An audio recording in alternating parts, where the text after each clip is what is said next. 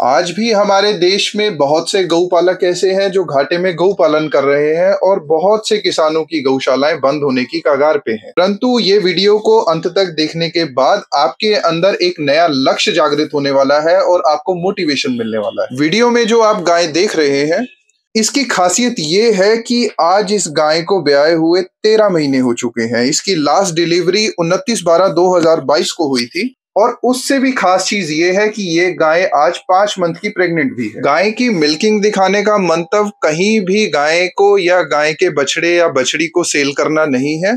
केवल और केवल आपको मोटिवेशन देना है। तो कृपया मोटिवेशन लेने के रूप में वीडियो को देखें। अगर आपको हमारा गायों के प्रति समर्पण पसंद आया हो तो चैनल को सब्सक्राइब करें और वीडियो पसंद आए तो इसको अपने साथी मित्रों के साथ शेयर भी ज़रूर करें। आमतौर पर हमारी गौशालाओं में गायें आठ से नौ महीने का लैक्टेशन पीरियड रखती हैं और आठ से नौ महीने का लैक्टेशन पीरियड होने के बावजूद वो गायें जब ड्राई होती हैं तो उनका दूध मैक्सिमम दो से तीन लीटर पर डे का होता है।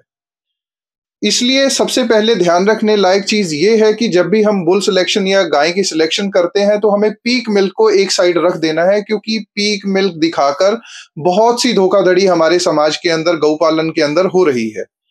तो हमेशा अपना जो ध्यान है, वो लॉन्ग लेक्टेशन के ऊपर रखें, क्योंकि आज ये गाय तेरह महीने की ब्याई हुई होने के बाद और पाँच महीने की प्रेग्नेंट होने के बाद भी अप्रोक्सीमेट दिन का आठ से नौ लीटर दूध परफॉर्म कर रही है। और अगर इसकी खुराक की बात करूँ तो ये गाय चरने के लिए पहाड़ों में या जंगलों में जाती है, चर के आती है, थोड़ा बहुत इसको कंसंट्रेटेड फ़ीड मिलता है। उसके बाद का ये परफॉर्मेंस मैं आपको बता रहा हूँ। और पीक मिल्क की बात करूँ तो पीक मिल्क भी इसका 18 से 20 लीटर को बड़े आराम से टच करता है। गाय की खुराक बताने के बाद मैं जो सबसे ज़रूरी चीज़ है, जहाँ पे आपका ध्यान केंद्रित करना चाहता हूँ, वो है गाय की सबसे बड़ी खासियत, उसका जेनेटिक्स उसका जीन, जिसके अंदर दूध है, इसलिए ये गाय परफॉर्म कर पा रही है।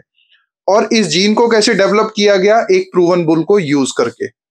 अगर आप अपने फार्म के अंदर अच्छे जेनेटिक्स को लाना चाहते हैं, अच्छी परफॉर्म करने वाली गायें पैदा करना चाहते हैं तो सबसे पहली चीज़ जो है, वो है प्रूवन बुल अगर आप प्रूवन बुल्स को यूज़ नहीं करेंगे तो आपको सालों साल लग जाएँगे ऐसी गायों को तैयार करने में।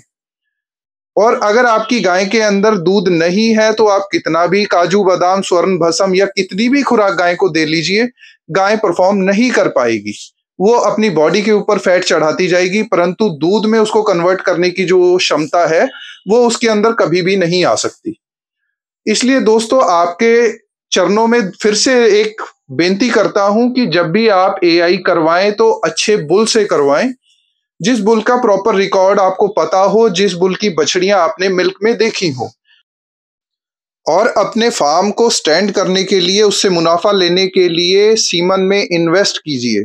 अगर सीमन महँगा है तो उसके लिए रोना बंद कीजिए और अच्छे सीमन को यूज़ करके अपने फार्म को, अपनी गौशालाओं को समर्थ बनाइए।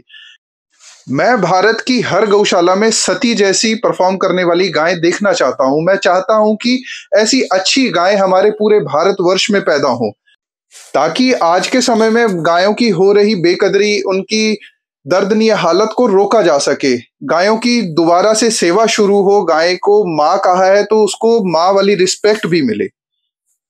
केवल गाय को माँ बोल देने से या उसको नमस्कार कर देने मात्र से आपके पुण्य नहीं बढ़ेंगे और गायों की सेवा नहीं होगी। अगर आप गायों को बचाना चाहते हैं तो आपको कुछ सख्त कदम उठाने होंगे, जिसमें गायों का अच्छा जेनेटिक्स और प्रूवन बुल्स की सहायता लेनी होगी। और दोस्तों, अब गाय की मिल्किंग कंप्लीट हो चुकी है और हम देखते हैं गाय ने कितना मिल्क परफॉर्म किया। सती ने अप्रोक्सीमेट चार लीटर दूध एक समय का परफॉर्म किया है और दिन का आठ लीटर के करीब। सती तेरह महीने की ब्याई हुई है और पाँच महीने की प्रेग्नेंट भी है।